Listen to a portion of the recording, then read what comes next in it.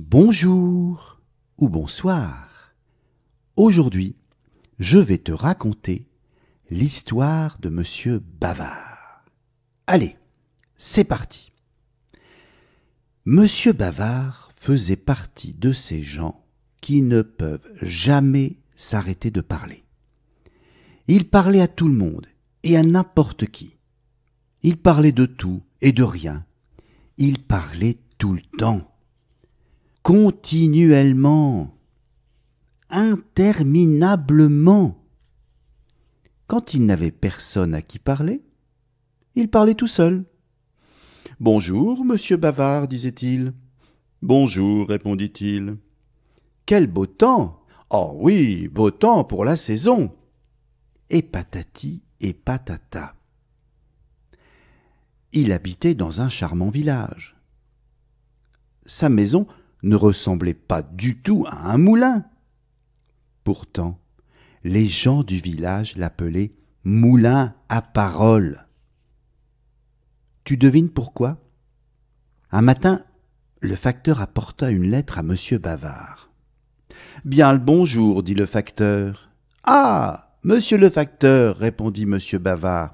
Moi aussi je vous souhaite une bonne journée, mais comme je le disais pas plus tard qu'hier ou avant-hier, je ne sais plus, enfin peu importe, comme je le disais donc, nous avons de belles journées cette année, mais peut-être que je me trompe, en tout cas lundi ou plutôt mardi, oui c'est ça, mardi, il faisait un temps vraiment magnifique, vous vous en souvenez, et patati et patata.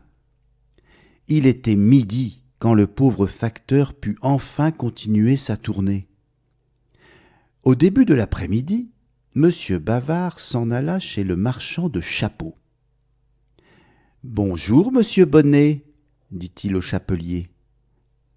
Voyez-vous, je voudrais vous demander si vous pensez qu'il serait possible, si ce n'est pas trop cher, mais bien entendu je vous fais confiance, de me faire un nouveau chapeau sur mesure, parce que c'est bien simple, le chapeau que j'ai sur la tête est, comment dirais-je, un peu démodé, enfin, pas vraiment, mais voyez-vous, euh, je l'ai depuis, attendez que je calcule, euh, depuis dix ans, mais non, suis-je bête Et patati et patata. Quand le marchand put enfin placer un mot, et même plusieurs tant qu'il y était. Il promit de commander un chapeau pour M. Bavard, et il prit ses mesures.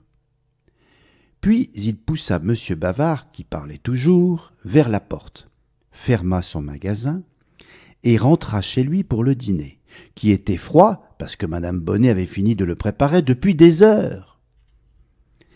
Et pendant son dîner, M. Bonnet réfléchit. Une semaine après, le chapeau de M. Bavard arriva par la poste. Le facteur le porta à M. Bonnet dans une jolie boîte rouge. Enfin, dit le chapelier, nous serons bientôt délivrés des bavardages de M. Bavard. Ah ce serait trop beau, dit le facteur. Comment voulez-vous qu'un chapeau l'empêche de parler? Mais c'est un chapeau magique, répondit le chapelier. Ah fit le facteur, qui n'avait pas très bien compris cette explication. Le jour même, M. Bonnet en personne livra le chapeau à M. Bavard. Oh. Merci. dit M. Bavard. Eh bien, voyez-vous, c'est curieux, mais j'étais sûr, oh, comment dirais-je, j'avais l'impression, je ne sais pas pourquoi, comment vous expliquer, je savais que ce chapeau arriverait aujourd'hui, et vous voilà avec mon chapeau, que je suis content, j'espère qu'il me va. Eh bien, essayez-le, dit M. Bonnet.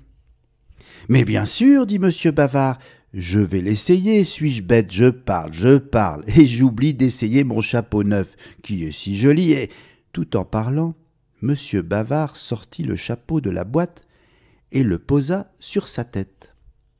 Ah, c'était un beau chapeau. Ah oui, dit M. Bavard, je dois dire que ce chapeau est, comment dirais-je, mais oui, certainement, c'est l'un des plus beaux chapeaux que j'ai jamais vus, et pourtant j'en ai vu des chapeaux, et patati et patata. Tandis que M. Bavard parlait, il se passait de drôles de choses.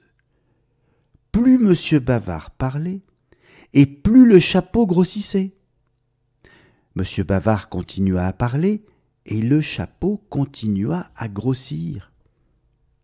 Je n'y vois plus rien, s'écria M. Bavard. C'est curieux, je voyais bien, et tout à coup, soudain, oui, comme ça. À présent, le chapeau recouvrait M. Bavard de la tête aux pieds. M. Bavard s'arrêta de parler. Dès que M. Bavard s'arrêta de parler, le chapeau commença à rétrécir, rétrécir, jusqu'à retrouver sa taille normale. Pendant ce temps, M. Bonnet s'était éclipsé. Ça veut dire qu'il était parti. Il retourna dans son magasin, tout content de son chapeau magique. Le lendemain, M. Bavard mit son nouveau chapeau pour aller se promener. Il rencontra le facteur. Ah, monsieur le facteur, dit-il, je voudrais vous demander ce que vous pensez de mon chapeau, mais je crois avoir compris que vous le trouvez joli, et même que. Tu devines ce qui se passait pendant que M. Bavard parlait. Le chapeau grossissait à vue d'œil.